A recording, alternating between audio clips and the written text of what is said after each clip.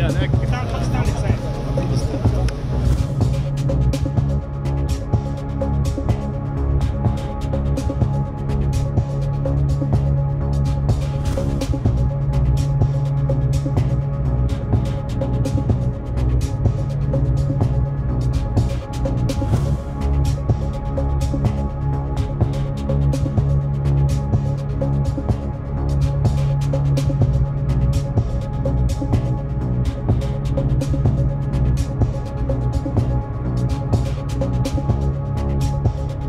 ואני מזהיר את חיזבאללה, את נסראללה, לא לעשות טעות.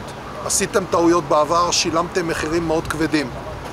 אם חלילה תתפתח פה אה, הסלמה או אירועים מלחמתיים, אנחנו נחזיר את לבנון לעידן האבן. אנחנו לא נהסס להפעיל את כל העוצמה שלנו ולשחוק כל מטר של חיזבאללה ושל לבנון אם נידרש לזה.